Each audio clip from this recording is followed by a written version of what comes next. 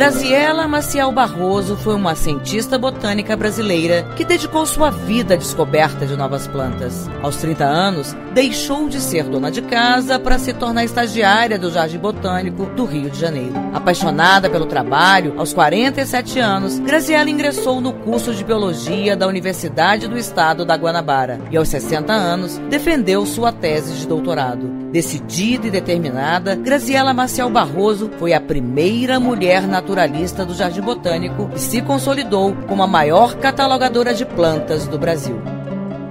Fiz do Jardim Botânico a minha paixão.